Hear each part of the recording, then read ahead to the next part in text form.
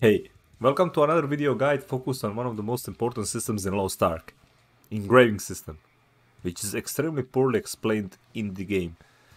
So, what is engraving system and how does it work? Engraving to put simply is a customizable passives with its own levels or ranks that further defines the build. Most of the builds in Lost Ark are centered around them and further define the playstyle. There are two different kinds of engravings, a class one and a regular one. Class 1 usually alternates the way that uh, certain skills or ultimate abilities behave, while most of the general ones are some kind of a boost to damage, speed, cooldown, etc. One of the reasons why this system seems so confusing at first is the fact that you unlock it at the same time as pretty much every other endgame system, so along with a poor explanation it feels very uh, overwhelming to the player. But the concept of it is rather simple. If you go over to your engraving tab, chances are you got some of the points here if you are wearing starter endgame accessories and ability stone. So, each engraving has 15 of these diamonds or let's just uh, call them points. Each 5 of those points uh, level up that specific engraving. So, in order to activate them, you need to have at least 5 points. In order to max out engraving, you will need 15 of those points which makes uh, engraving max at level 3 and any further points into it will be a waste. So, how do you level up engravings? There is three ways to do this. First one is gonna be through your skill book system. So if you look on the left side below your weapon, there is two slots. These plus signs, if you click one of them, engraving effect book will show up. In here you will find all the engraving recipes you learned so far. I will talk uh, about how to obtain them a bit later, but for now let's get back to the actual engraving page. So, recipes once learned are unlocked on your entire account, which means you only need to obtain them once to be able to use them on every character that you play. Just like here, there is a different uh, rarity of uh, recipes and you will need to find 20 of each engraving effect book. You start with green, then you move on to blue, then to purple, and at the end the orange books. And you need to unlock each one in that order to learn the higher tiered books.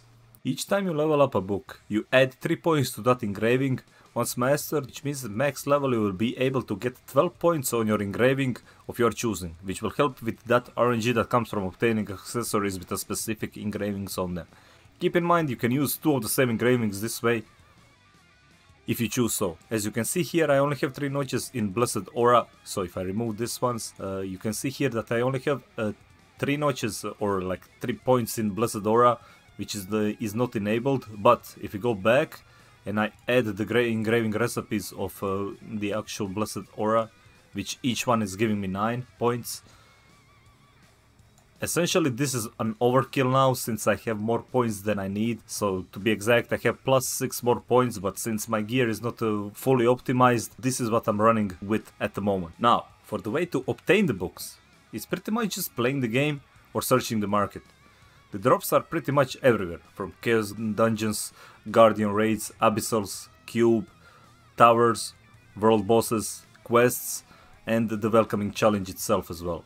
So once you obtain them, make sure to focus on the ones that are important for your class or classes if you're playing the multiple ones. Alright, now on to the second way of leveling engravings through gear. Starting from endgame gear, from 3 or 2 item level, any accessory on right side of your character, so we are talking about a necklace, earrings, rings and ability stone, it will have up to 3 random engravings with a random number attached to them.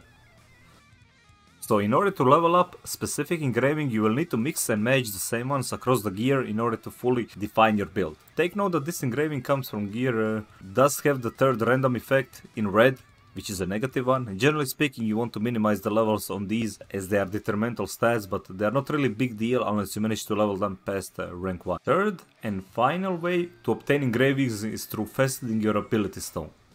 This is one is probably the easiest to focus on after books for your uh, non-class engraving, but at the same time one of the most RNG dependent to level. I will have a separate video on how faceting works in the future. So to conclude the video, engravings are passives that further enhance and define the build. Every 5 points levels engraving by 1 rank, with rank 3 or 15 points being the max. 3 ways to obtain them. Engraving recipe books, accessories, and ability stone. You should uh, prioritize your main and non-class skill on your ability stone and class engraving with books for your class. And uh, pray to RNGesus because uh, you will need it. Hope you found this video helpful. Subscribe and like the video for more Lost Ark content. If you got any questions, you can leave them in the comments down below or join me daily on my Twitch channel, which link will be in the description down below. For now, CROTemplar out. Saluten. Bye!